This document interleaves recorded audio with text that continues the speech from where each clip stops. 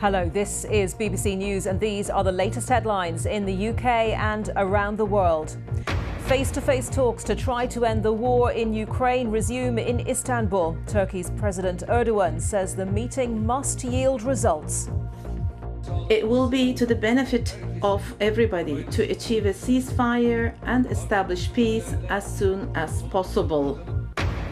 Here in the UK, police are expected to issue the first fines for government parties held in breach of the coronavirus restrictions. A Thanksgiving service to honour Prince Philip's life will take place later today. Buckingham Palace says a last minute decision will be made on whether the Queen will attend. And unacceptable and inexcusable. Hollywood star Will Smith says sorry to comedian Chris Rock for slapping him at the Oscars.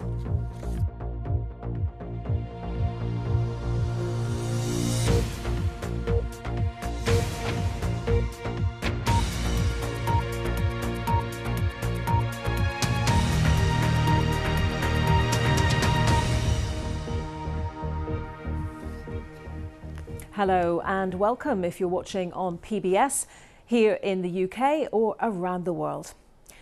Peace talks between delegations from Ukraine and Russia are underway in Turkey, with the Ukrainian side pushing for a ceasefire. It's the first meeting between the sides in two weeks, but hopes of a breakthrough at the negotiations in Istanbul remain low. Meanwhile, the UK Foreign Office says it's very concerned by the claim that the Russian billionaire Roman Abramovich had symptoms of a suspected poisoning after talks earlier this month to try to resolve the conflict. Mr. Abramovich has been pictured at today's talks in Turkey. Thomas Morgan reports. A safe landing, hoping to secure a safer future. Ukrainian delegates arriving in Istanbul, gearing up for the latest round of peace talks, the first face to face in weeks. A ceasefire is their aim, although there's significant doubt over whether this is likely. The minimum programme is, first of all, humanitarian questions. And the maximum programme is ceasefire and reaching a lasting agreement on it. The last time negotiations were held, there was no compromise. But there's also another cause for concern. Three of those involved in early discussions, which included Russian billionaire Roman Abramovich, say they suffered suspected poisoning, a potentially lethal and serious claim. These people appeared to have been poisoned with something pretty severe. Uh, the only other uh, sort of place where organophosphates would come from would be pesticides and that seems you know unrealistic in this scenario. So i think until we have the detailed medical records uh, one has to assume that they have been poisoned and uh, possibly with a nerve agent. In kiev some normality ensues. Some cafes have reopened some pause in the fight. But in the strategic port town of mariupol near the border with the enemy there is no such break bombing has shown no sign of letting up. It's a city in ruin. According to President Zelensky, the scene of a war crime. Along the Black Sea near the city of Odessa in the southwest, there are signs that local troops are overcoming their foe as Russian tanks lie in ruin.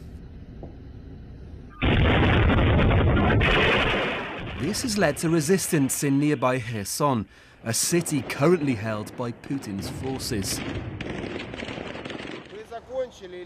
Russia will unlikely back down before they finish taking the east of Ukraine. So, a month into this conflict, there is hope, but skepticism that this latest round of talks will lead to any resolution or respite in this war. Thomas Morgan, BBC News. Let's go to Moscow and speak to our correspondent there, Jenny Hill. Jenny, hello to you. Claims that Moscow is using this talks process to regroup militarily.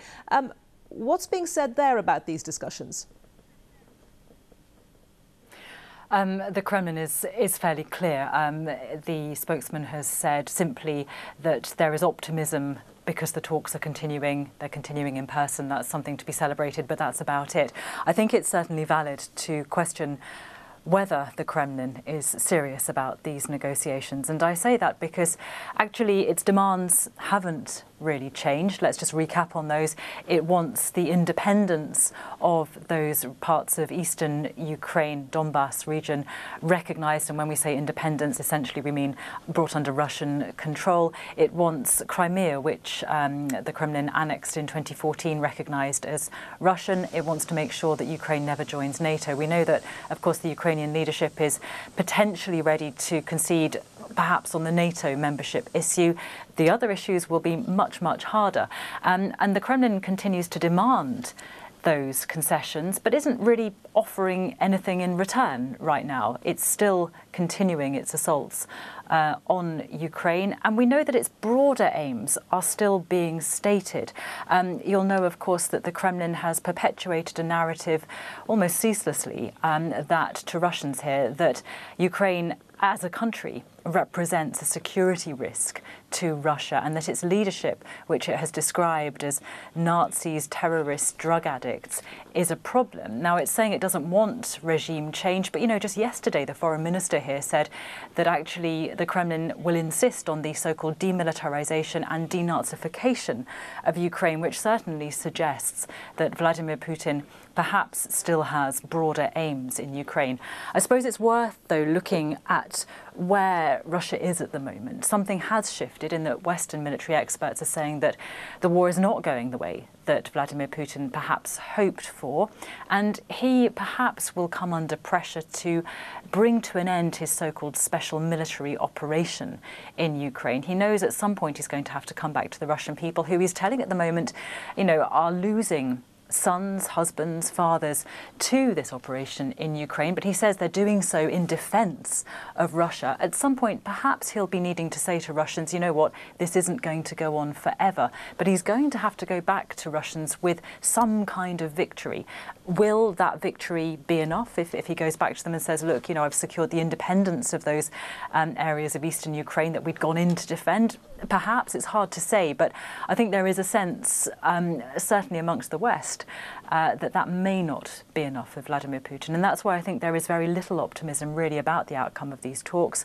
Although, um, you know, as we keep saying, the fact that both sides are talking, even at relatively low level, no leaders involved at this stage, of course, not even foreign ministers at this stage, um, but that is perhaps grounds for the very faintest of optimism. Okay, Jenny, thank you very much. Jenny Hill there in Moscow. Well, we will be live in Istanbul in just a few minutes where those talks are underway. But joining me now is Leigh Turner. He was British ambassador to Ukraine between 2008 and 2012. Thank you very much for your time joining us today uh, at BBC News. And just on that point I was discussing with uh, Jenny, how serious do you think Moscow is about these talks in Turkey? Morning, Annita. Thanks for talking to me. And I, I think to assess the likelihood of success of these talks, we have to consider the origin of this war. And we have to bear in mind that the purpose of this war, which is driven entirely by Vladimir Putin himself, is to keep Vladimir Putin in power for as long as possible. So he is in the autocrat's dilemma that he fears any kind of democracy that could put him out of power because he cannot afford ever to lose power in Russia. And therefore, the vibrant democracy of Ukraine next door, in a country which in many ways is similar to Russia, is what he fears most. And so his aim is to produce a Ukraine which is predictable, which is under Russian control, and which doesn't offer an alternative model to people in Russia for their futures. Now, if we look at the prospects for peace talks against those war aims of President Putin, I have to agree with your correspondence that there are several reasons to be skeptical. The first one is um, the Russian tactic of maskirovka, which is to try and confuse your enemy about what you have planned.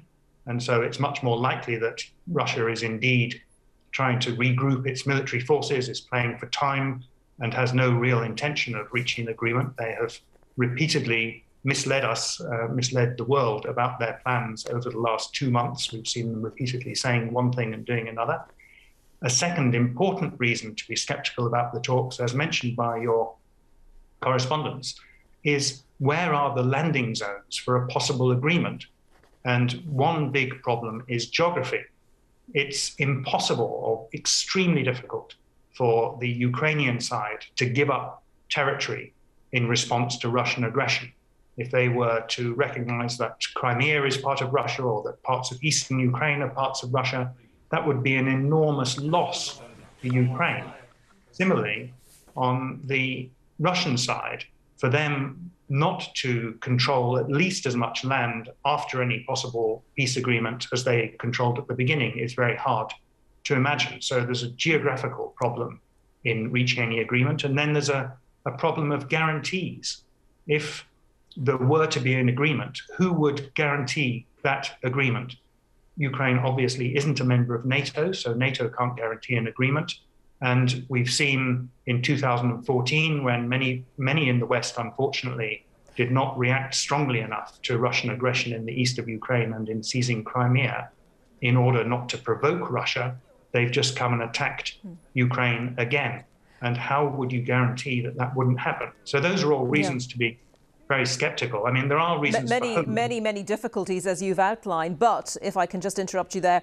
Uh, yeah the Russian forces have taken a pounding, haven't they? Much more than they expected, from young soldiers to seasoned commanders. The economy is being hit as well. Ordinary Russians are feeling the consequences of this war in their pockets. So, could that make a difference to Vladimir Putin's approach? I think you're right. There, there is a glimmer of hope and in a rather macabre and tragic way, it comes from these terrible Russian losses, as well as, of course, as the enormous civilian and military losses on the Ukrainian side. But President Zelensky described it as President Putin throwing his soldiers like logs into the furnace of a train. And these enormous Russian losses do potentially change the equation. We've seen in the war in Afghanistan, we've seen in the uh, war in the east of Ukraine that Russian families, like of course, like any families, are extremely concerned about military losses, and that could change two things. One is Russia's actually actual ability to maintain its campaign as it suffers these huge losses, and secondly, it could actually undermine Putin's own position within Russia if uh, a feeling, an anti-war feeling, grows in Russia. I, I wouldn't put too much hope in that because uh, the, the Russian leadership controls the media so strongly. But I would say, on the whole, you could say there's a 25% chance that Russia is taking these talks seriously, that it's not just a delaying tactic trying to get the complete victory that Putin really wants. Uh, Leigh Turner, former British ambassador to Ukraine, I appreciate your thoughts on all of this today. And uh, let's go now to Istanbul, where those talks are taking place. Our correspondent Tom Bateman is there, the delegation's uh, meeting. And Tom, hello to you. President Erdogan uh, saying a little earlier that there needs to be tangible results from these discussions. He clearly wants to be seen as the facilitator of a, of a breakthrough.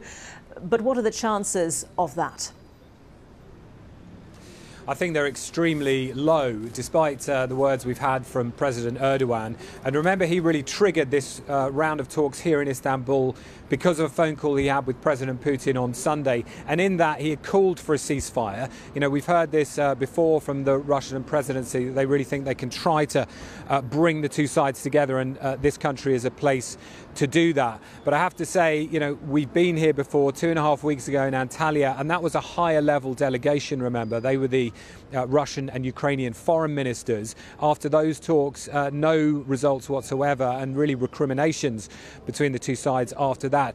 So here, I think, is another attempt, but this is bringing together the uh, delegations, the presidential advisors, largely officials, and the Ukrainian defense minister, uh, who have been in discussions on a near daily basis via video conference. Uh, now, for the first time in you know over two weeks, this is across the table, face to face. And in the last hour or so, the two heads of the delegations have uh, peeled off and had uh, talks between themselves, two key advisors to Presidents Putin and Zelensky, uh, before they roll out the wider talks with the uh, wider uh, delegations themselves.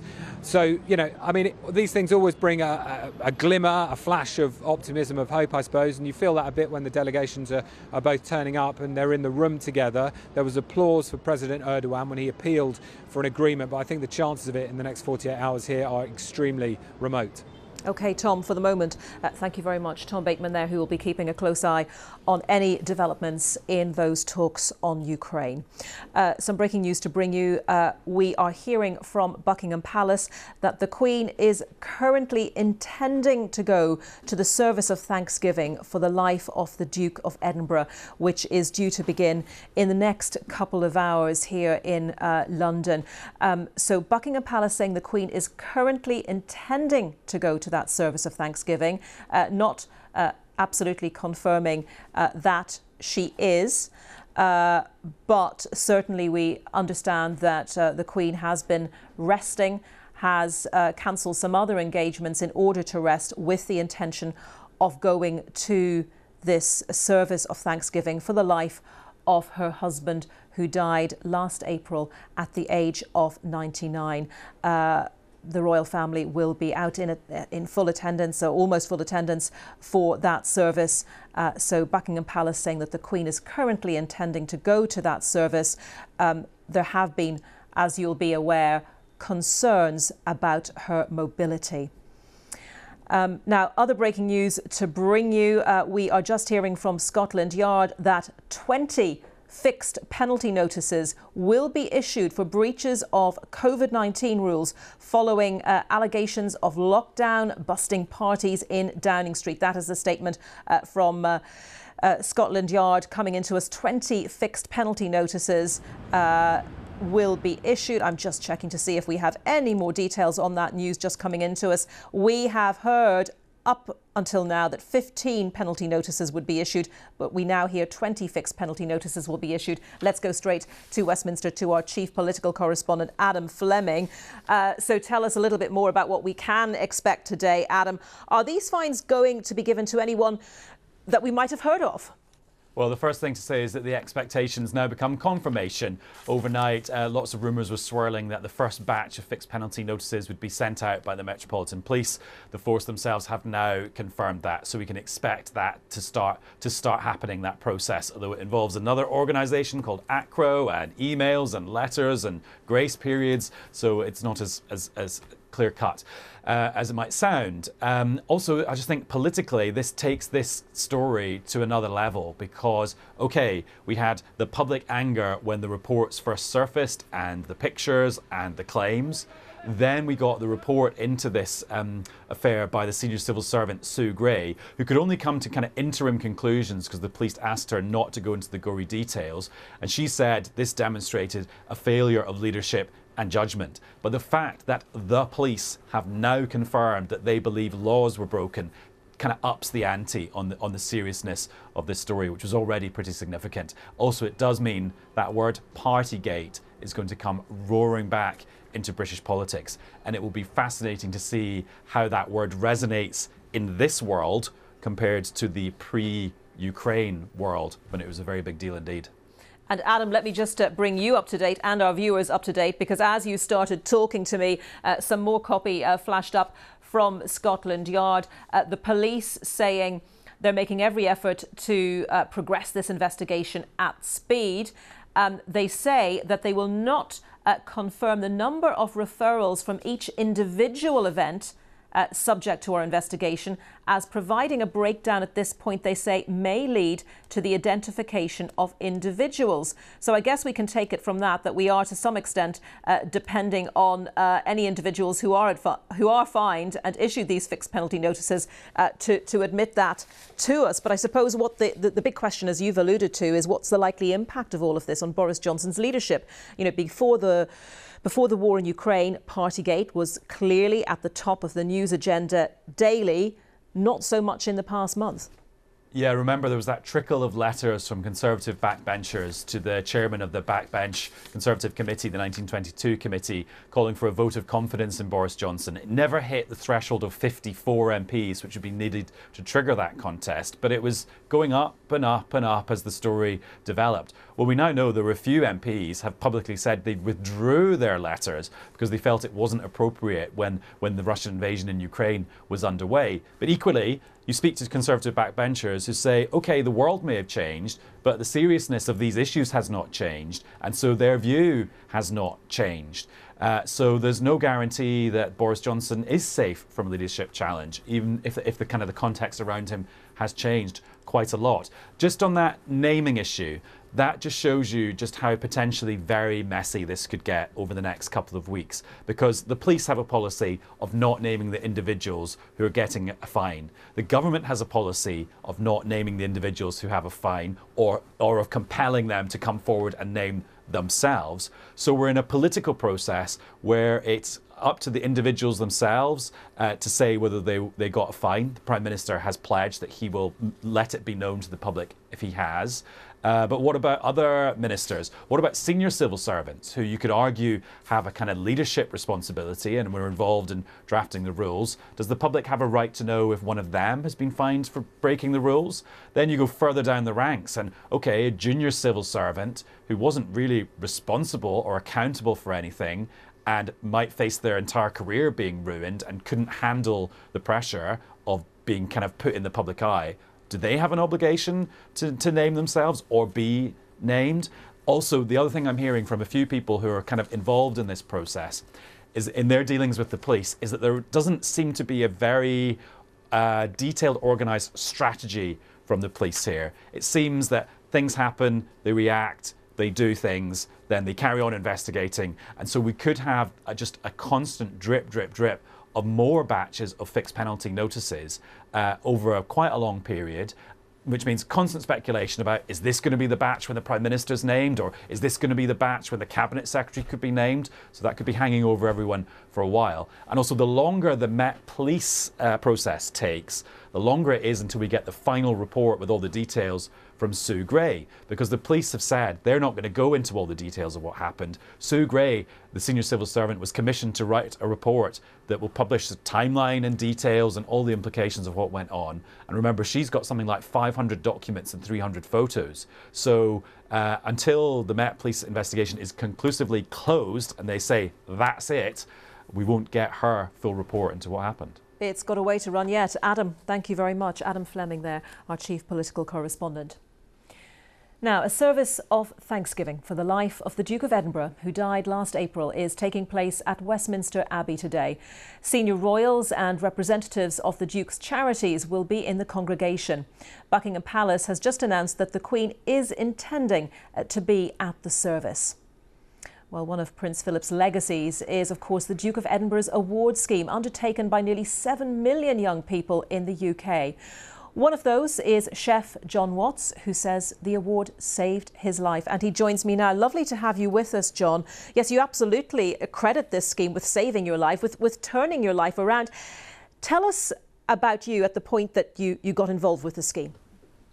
Uh, so I was 18 years old and I was sentenced to six and a half years in prison. So as you can imagine, I felt like um, my life was over. Like I was never going to achieve anything. Like I could never be anything. And I got involved with the Duke of Edinburgh's Award. And to cut a long story short, I learned how to cook. Um, now, anyone who knows me now knows that you know that's what I do. Like that, that's everything I live and breathe is is cooking. You know, it's. Uh, so this was when you were in prison. You started learning to cook in prison, yes. Yeah, that's right. Um, so the Duke of Edinburgh's Award, I think, acted as like a template for me. So when I was released, with this cooking skill, I was able to have all the other skills that I needed to be able to live a, a normal, law abiding life and grow into the person that I am now, um, which is, you know, living my dream and being able to help others as well. And you did the bronze, silver, and gold awards in the space of three and a half years, which clearly shows commitment, John. What qualities do you think the scheme taught you that helped you to change your, your, your life, turn your life around? Um, it helped build confidence, uh, build my self esteem, um, helped me with working with people, which I wasn't used to. Uh, it helped me build resilience, which I think is always important, but even more so over the last couple of years. Um, and then it, helps me with empathy, you know, learning how others feel and how to sort of work with people and you know just so many different things that just came together like building blocks to build me up into somebody who who you know was, is a million miles away from where I was at 18 years old. And I know that now that you're giving back, you're helping young people, trying to pass on the skills that you were taught. That's your legacy. That is the Duke of Edinburgh's legacy. What uh, are your thoughts about the Duke today, on this day of the service, a service to give thanks for his life? Yeah, I mean, obviously, I admire the Duke. Um, and I think today is quite a special day. It was quite a shame that last year, you know, we weren't able to uh, give him the service that um, perhaps it deserved. So it's nice that it's able to happen today. Um, John, thank you so much for talking to us. We appreciate you joining us today. Uh, John Watts, uh, a chef there, who credits the Duke of Edinburgh Award Scheme with uh, turning his life around. And uh, just a reminder that uh, we are hearing from Buckingham Palace that the Queen is intending to attend the service at Westminster Abbey uh, in the next couple of hours, that service of thanksgiving for the life of her husband who died uh, last April at the age of 99. Clearly, there have been concerns about the Queen's mobility.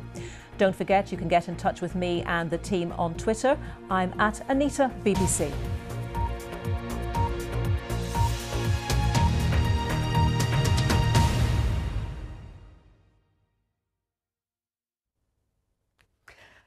Good morning. Let's take a look at the weather now across the UK. And it's a bit misty and murky out there for some of you at the moment, but a bit of pleasant sunshine to come in the west today. But I think many of you are starting to turn your attention to the oncoming cold. Well, that at the moment is still waiting in the wings to the far north of Scotland. It will have inroads though across northern Scotland today as this weather front pushes its way southwards. At the same time, we've got this little feature in the south that's actually producing a little bit of rain across southern parts of England this morning and maybe just fringing into the southeast of Wales. Nothing too heavy, but you can see how other system, which will have the biggest impact across our country during the next uh, day or two. That'll be working its way across Scotland, rain turning to sleet and snow, sunshine coming back between the showers in Orkney and Shetland later. A few showers breaking out in northern England, southwest Scotland, northwest England, Northern Ireland, and also across uh, Wales. But here we'll see the sunshine between. Elsewhere, plenty of low cloud around, quite misty. Temperatures down in recent days, but at levels they should be for late March. Whereas to the north of Scotland, they're starting to drop quite markedly, four or five degrees for some through this afternoon. And that colder air will be pushing southwards with that weather front through tonight, pushing across the rest of Scotland into northern England. Outbreaks of rain initially, but turning into sleet and snow. Hills eventually to lower levels later. Snow showers to the uh, sea level across the north of Scotland, where in between we could see temperatures drop as low as minus five. Frost free in the south, and in fact a big uh, temperature contrast from south to north throughout tomorrow. The dividing line is this going to be this weather front, which will reach the Midlands and Wales later in the day. Outbreaks of rain on it, sleet and snow over the hills, falling to lower levels as we go through the day and that colder air kicks in. Then a bit of Scotland, though, seeing some sunshine develop through the day, except in the north where we'll have snow showers throughout. Far south of England and Wales, we'll see the odd bit of sunshine, especially in the morning, clouding over into the afternoon. Some outbreaks of rain developing. 12 degrees here, but from the Midlands northwards, single figure temperatures and an added chill as that wind picks up. And that cold air will eventually make it to the south coast as we go through Wednesday night into Thursday. Outbreaks of rain initially, but we could see that turn to sleet and snow, even to some lower levels to take us into Thursday morning. So some of you can actually be waking up to a dust of snow on the Thursday morning commute. And we'll continue to see hail, sleet and snow showers push in through the day, sunshine in between, and quite a cold north to northeasterly wind. Wind strongest around the eastern English Channel, gusts of wind 40, uh, 45 miles an hour. Temperatures on the thermometers may read about 6 to 8 degrees, already a big drop what we've seen through recent days, but this is how it will feel, closer to freezing across many parts of the country. And gardeners be warned, as we go through the night, a widespread frost will develop, with temperatures down to minus 4 or minus 5. It's easiest for you at tvlicensing.co.uk. Click that thingy.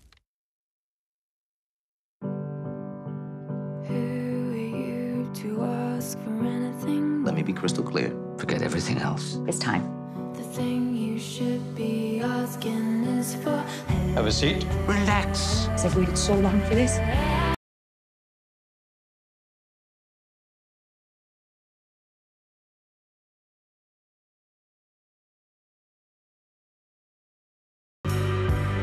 Well, that will have them rolling in the aisles. I'm really happy.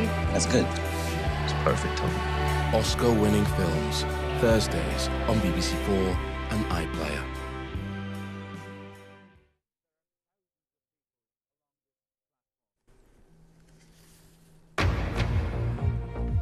This is BBC News, and these are the latest headlines in the UK and around the world. Face to face talks to try to end the war in Ukraine resume in Istanbul. Turkey's President Erdogan says the meeting must yield results.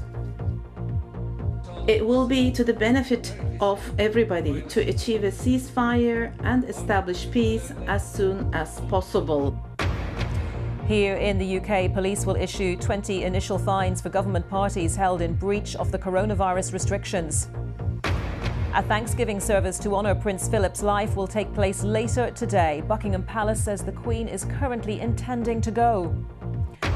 Unacceptable and inexcusable. Hollywood star Will Smith says sorry to comedian Chris Rock for slapping him at the Oscars.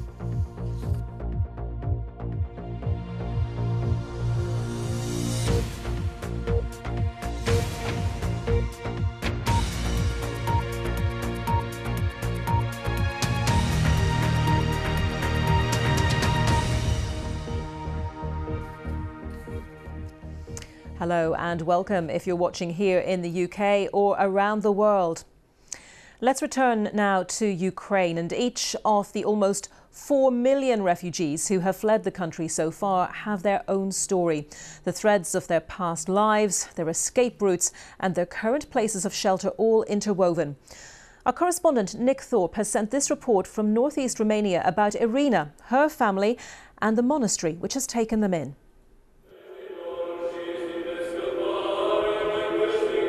Sihastria. The name of the monastery means a place of retreat, of prayer and meditation, away from the turmoil of the world.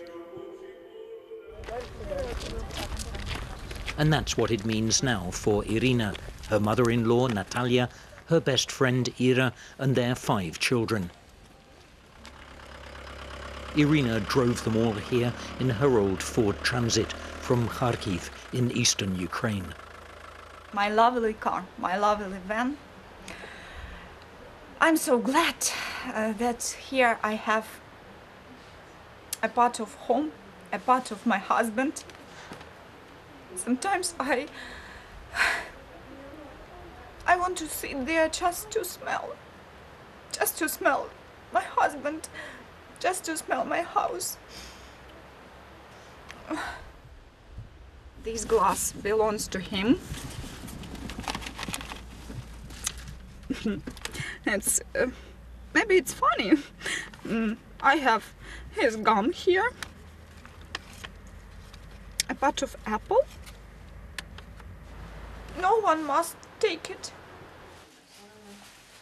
Her husband, like Ira's husband, stayed behind in Kharkiv, a city under Russian siege, delivering fuel.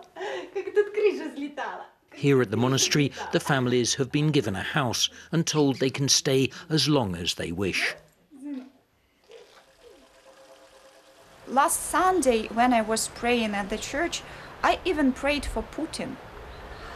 I wished him to, to become wiser. I wished him stop killing our children in Ukraine. Only here at the monastery, I began to feel some sympathy to Russian troops. And I stop hating them. Only yesterday I saw some flowers in the yard. and I was so surprised because I didn't see them before. It's impossible even to breathe this beautiful mountain air. When they fled Ukraine, they thought they might be home for Easter.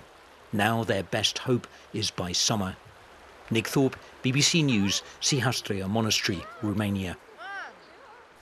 And joining me now is uh, Robert Mardini, Director General of the International Committee of the Red Cross. Thank you very much for joining us today on BBC News. We appreciate your time and uh, give us the assessment of the International uh, Committee of the Red Cross on the situation for Ukrainians still in Ukraine and those who have become refugees? Well, uh, good morning. Um, uh, now we're in the fifth week of this uh, devastating uh, international armed conflict where the level of death, uh, of uh, suffering, of destruction that continues to be inflicted of civilian is outrageous uh, and unacceptable. Uh, every uh, behind every person displayed, there is a tragic story. There is a, a broken uh, destiny, uh, and this devastation uh, should be limited. Uh, and uh, the rules of war are here to limit the suffering in times of armed conflict. we have our teams on the ground. We work with Red Cross partners on the ground to, to make a difference. we have been uh, stepping up our response uh, over the past weeks, uh, sending more than 140 persons, bringing our teams to 600 in the country, supporting uh, hospitals with uh, surgical uh, and medical supplies. Uh, delivering food, uh, relief items, uh, having surgical teams in, in some hospitals. But of course, much more needs to be done. you talk about the rules of war. Do you believe that war crimes have been committed by Russia in Ukraine? Well, for now, we repeat our messages to the warring sides. They have very clear obligations uh, under the Geneva Conventions. Uh, uh, they have uh, made commitments. we expect that they deliver on their uh, commitments in order to uh, allow a safe passage of civilians, for instance, from besieged cities, to allow humanitarian aid in, to give access to the ICRC to the prisoners of war. And we are expecting that they deliver on these commitments and obligations. Uh, and obviously, the, the, the International Committee of the Red Cross, uh, you would say you have a mandate to, to talk to all sides in in war. Um, your colleague, the president of the committee, met the Russian foreign minister, Sergei Lavrov, uh, a few days ago. There were reports that uh, there had been a, requ- a, request to Sergei Lavrov to allow the Red Cross to set up a facility in the Russian city of Rostov on Don to help Ukrainians there. But the Ukrainian authorities say that um, we're talking here about forced removals, Ukrainians who have been forcibly removed from their country to Russia. And along with that came claims that the Russians were even being helped by the International Committee of the Red Cross in this. What's your response to those claims? Well, first, uh, the request to have uh, an operational base in Rostov is part and parcel of a massive scale up of our presence to respond to humanitarian needs. By the way, we don't have uh, currently a, uh, an office in, uh, in Rostov. These are facts. Uh, and regarding the allegations that the ICRC is associated in a way or another to any forced displacement, these are absolutely false claims there is no way the ICRC can condone or support forced displacement in armed conflict. Any displacement of civilian population should happen with the consent of civilians and on their free will. Uh, so the ICRC, and uh, this is, by the way, contrary to the Geneva Convention. So uh, we cannot accept uh, uh, and we clearly deny these uh, alleged claims. But do you want to set up an office in Rostov? Yes, this is part of our uh, also presence in uh, in Ukraine, uh, in uh, uh, in Moldova, Romania, Hungary, uh, and yes, having a place, having an operational base in Rostov will help our support to people in harm's way inside Ukraine because it gets aid closer to where people are to where the needs of people are and this is what the red cross is about supporting people in an impartial way wherever they are whatever side of the front line they are. But if you're talking about helping people in ukraine why would you be doing that from an office in, in, in southern russia from a base in southern russia many people will want to know? Because you need to get uh, logistical supplies uh, in uh, ukraine uh, and uh, there is an armed conflict in Ukraine, and you need to multiply the points of access so that humanitarian aid can get into the country. And, and you'll be uh, able to do that from Russia, is what you're saying, because clearly so there have been we, we there have been not. lots of concerns, haven't there, about you know um, so-called humanitarian corridors with you know the the, the Russians not necessarily um, uh, abiding by agreements around those corridors. So how confident can you be that you will be able to get aid into Ukraine from Russia? Well, uh, this is why we have a robust dialogue with uh, all sides uh, to the conflict, including the Russian side, in order to carve out an impartial uh, humanitarian space that will benefit uh, people and civilians in Ukraine. This is the aim of the Red Cross. And this is what we do in every context and in every conflict. And Ukraine is no exception to this. If Russia can say that they are talking to the International Committee of the Red Cross, that they are engaging with you, do you think that there is a danger that you could be used as a, an instrument of propaganda potentially? Well, this, this risk is always uh, there. There is today, uh, unfortunately, uh, a deliberate, targeted uh, misinformation, disinformation campaign that is uh, targeting uh, and dis, discrediting the work of the ICRC. This is hitting hard and undermining our own ability to help uh, people and it has to stop. Uh, the fact that we are having a dialogue with parties to the conflict does not exonerate them uh, from their obligations under international humanitarian law, and we have very clear expectations. Uh, we were very bold in expressing those expectations, what needs to happen to ensure uh, safe evacuation of civilians, to ensure humanitarian in, uh, aid in places uh, where people are running out of water, foods, medical supplies, uh, and the clock is ticking. Uh, and we are expecting that parties to the conflict deliver on the commitments they made to us. And we will be following up on this. Um, very good to talk to you today. Thank you for your time. Robert Mardini, uh, Director General of the International Committee of the Red Cross. Let's get more now on the service of Thanksgiving for the life of the Duke of Edinburgh taking place at Westminster Abbey this morning. Buckingham Palace says the Queen is intending, currently intending to be at the service. Well, let's join our royal correspondent Daniela Ralph, who's at the Abbey and uh, an important uh, use of words there, Daniela, currently intending. Uh, and we know, of course, that the Queen will absolutely want to be here we know that she's cancelled engagements, for example, in order to rest, to give her the best possible chance of attending the service. Um, so, interesting phrasing from Buckingham Palace in that statement. Yes, I think what they're doing there really is giving themselves just a tiny bit of wiggle room in case anything should go wrong between now and 11.30 at the start of the service.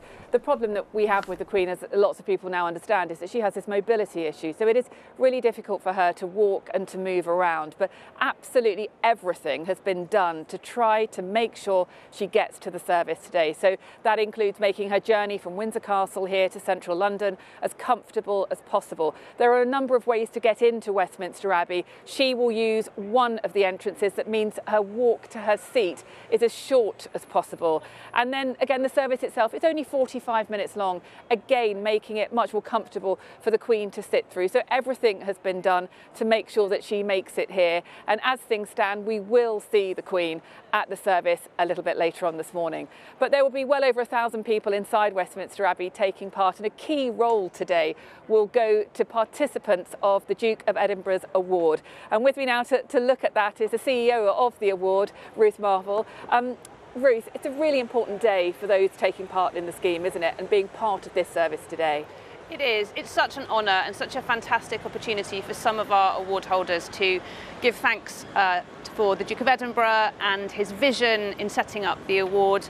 Uh, he established uh, the D charity back in 1956 um, and since then, 6.7 million young people in the UK and millions more around the world have had the opportunity to participate in the award. So today is such a fantastic opportunity for us to say thank you uh, and also to, to celebrate and look forward to a bright future for the award building on his legacy.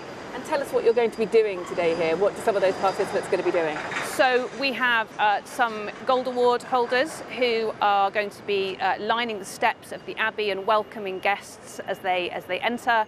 And then we also have uh, a Gold Award holder um, who is going to be giving a tribute as part of the service. So it's such a special opportunity for us to, to celebrate everything that the Duke did for young people um, as part of his life.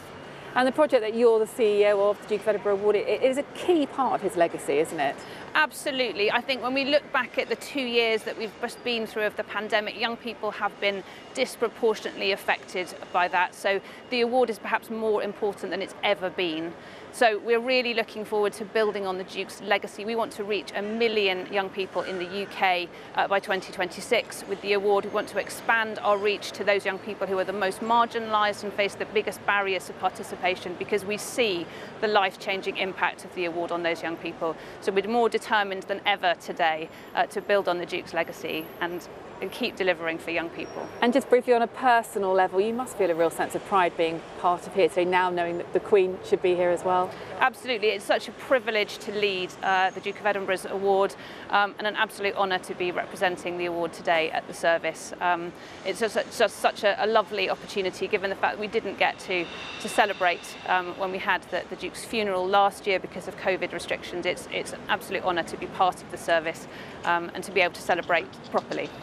Louise Marvel, thanks very much. And we are beginning to see some of the early guests arriving here for the service of Thanksgiving. More than 500 representing the charities and patronages that the Duke of Edinburgh held. We will also see all senior members of the royal family, including Prince Andrew, who will be here because this is deemed a family occasion rather than a working royal engagement. There'll also be representatives from royal families uh, across Europe. And we also expect to see a number of the Queen and Duke of Edinburgh's great grandchildren. Uh, we haven't seen them at an event like this before, so a first, a first for that a little bit later on this morning. And things begin here at 11.30. Daniela, thank you very much. Daniela Ralph at Westminster Abbey. The latest headlines for you now on BBC News. Face to face talks to try to end the war in Ukraine resume in Istanbul. Turkey's President Erdogan says the meeting must yield results. Here in the UK, police recommend 20 fines should initially be issued over government parties that breached coronavirus lockdown rules. As you've just been hearing, a Thanksgiving service to honour Prince Philip's life will take place later today. Buckingham Palace says the Queen is currently intending to go.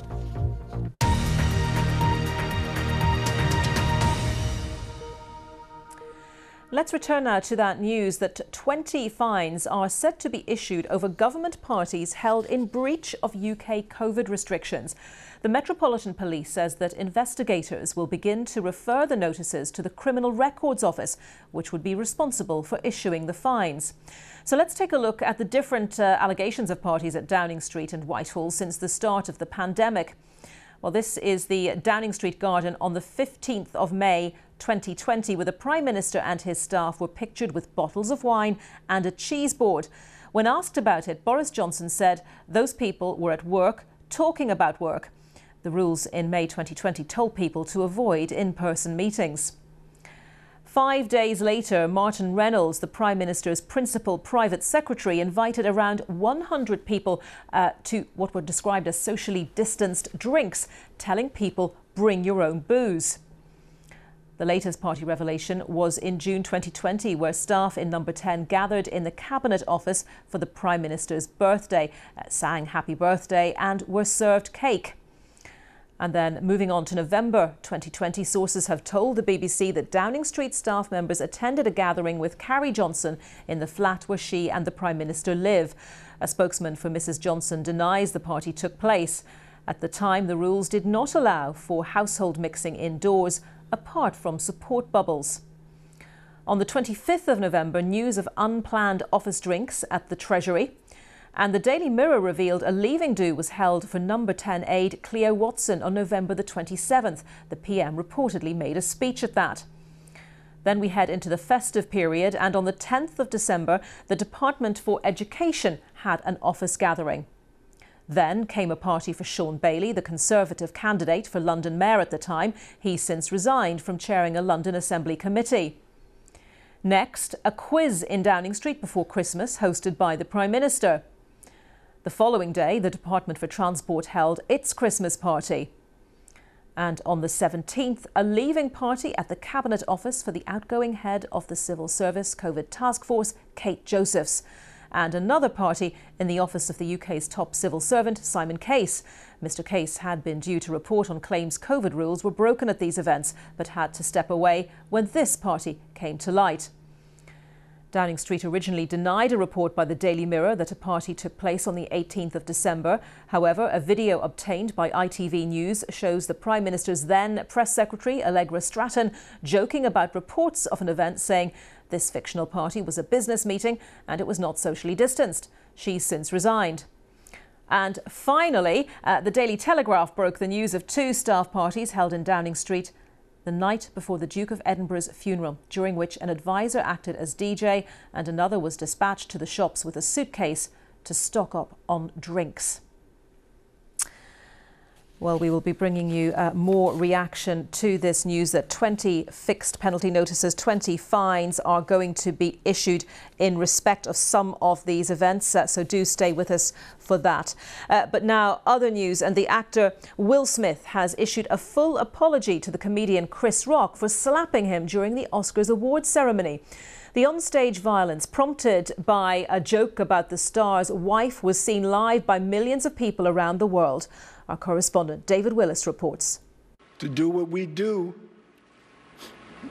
you got to be able to take abuse, you got to be able to have people talk crazy about you. Will Smith issued a tearful apology both to the Academy and his fellow nominees on Sunday night, but of one man there was no mention. Jada, I love you. G.I. Jane 2, can't wait to see it. All right? Chris Rock's joke about Smith's wife's hair loss led to her husband storming the stage, and this slap across the face. Oh, wow! And as a stunned, star studded audience looked on, the actor proceeded to hurl profanity laden abuse from his seat. Keep my wife's name out your mouth! I'm going to. Nearly 24 hours after the Academy Awards got underway here came a direct apology to Chris Rock. Posting on Instagram, Will Smith said he was wrong and out of line. Violence in all of its forms is poisonous and destructive, he wrote. My behaviour at last night's Academy Awards was unacceptable and inexcusable. Now, at this point, I can only laugh and y'all know I've been struggling with alopecia. Smith also mentioned his wife's highly public battle with hair loss, saying a joke about her medical condition was too much for him to bear. His behaviour on what should have been one of the best nights of his life has been condemned by the Academy, and an inquiry is underway which could lead to him being censured or expelled. After dancing the night away, he'll have awoken to the collective sense of shock and disbelief here over what happened on Sunday night. The slap that was seen around the world is unlikely to cost him his Oscar, but there's a growing feeling that such a highly public act of violence cannot go unpunished. David Willis, BBC News, Los Angeles.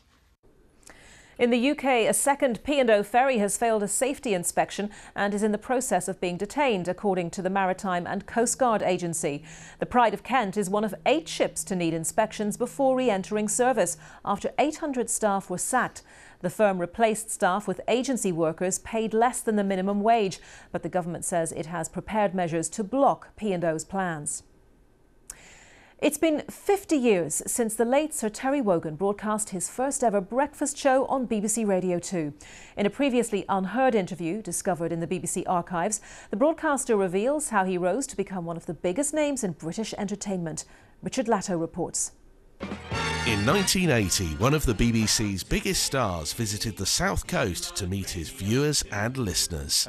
The time on Radio 2 by Derek Mills' wonderful clock, in which you can tell the time perfectly in Singapore and hardly at all in Britain, is Oh, help. 23 minutes to 8 o'clock? No, 22 and a half minutes to 8 o'clock. And now, 50 years since the start of his legendary breakfast show, the BBC has discovered a previously unbroadcast interview with the late Sir Terry in its local archive.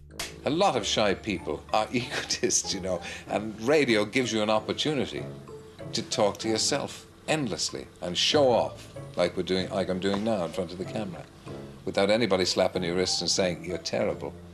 It's a priceless bit of uh, 80s television. Uh, not many people will have seen it. Why does nobody prop me when I want to prompt? I walked along the promenade with the independent. A lot of use, yeah. And it was nice to see him talking about what he intended to do and how he expected to be, because he had a plan. The big hole you can fall down as a popular entertainer if you want to be a popular entertainer, is trying to be popular with everybody, trying to get everybody to identify with you. You must be prepared to be yourself. That was his natural way of being. He was genuinely friendly, he was talking to one person, he was making them feel part of something. Terry Wogan! Oh gosh, I hope all this adulation is not going to spoil me. Despite being a successful host and interviewer, Sir Terry rarely gave interviews about himself. Radio and television is the medium for the introverted egomaniac anyway. And that's, I suppose, what I am. He was very open in that interview, yes. From their home in Lee-on-Solent, Norman and Helen masterminded many events for the Togs, that's Terry's old geezers, raising millions of pounds for charity with Terry's support. When he came to conventions, he was he just mixed quite happily. I'll always be here for you. And I hope you'll always be here. Six years since his passing, and to mark five decades since debuting his breakfast show, the rediscovered interview features in a new documentary from BBC Radio 2. Barry Cryer has a wonderful phrase about me. He says, It's impossible to underestimate Terry Wogan. Which is absolutely right. Richard Latto, BBC News. Ah, so Terry Wogan, a great voice. Now, don't forget you can uh, get in touch with me and the team on Twitter about any of the stories that we're covering today. I'm at Annita BBC.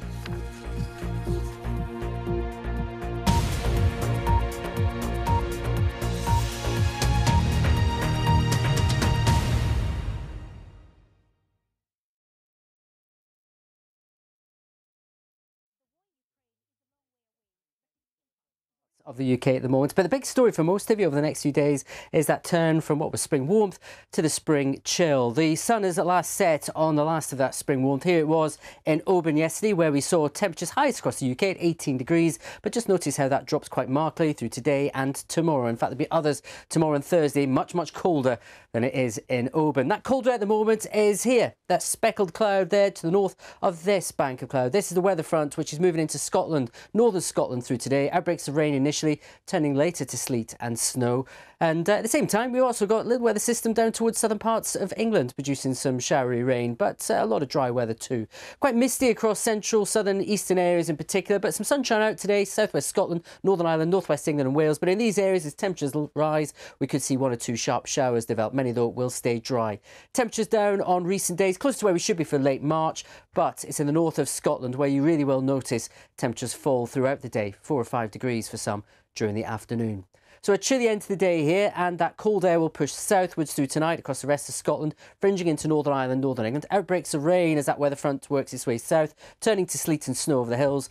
Frequent snow showers to lower levels in northern Scotland, where we could actually see temperatures down to around minus five into tomorrow morning. Should be just about frost-free across uh, England and Wales, though, as we start tomorrow on the southern side of this front, which is dividing line between the last of anything close to mild air and that cold Arctic air pushing its way in.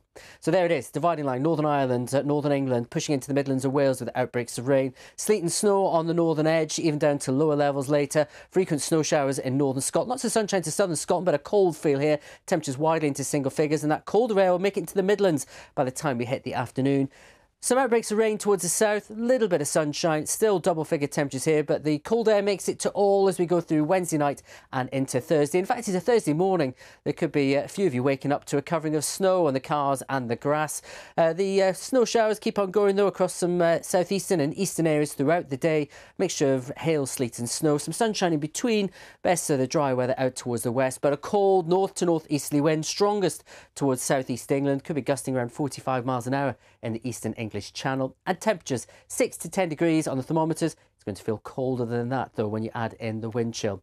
So for the second half of the week, it is going to be much colder. Temperatures at below average, with some wintry showers initially, and then turning to rain showers into the weekend. But one thing the gardeners should note widespread frost will return by night.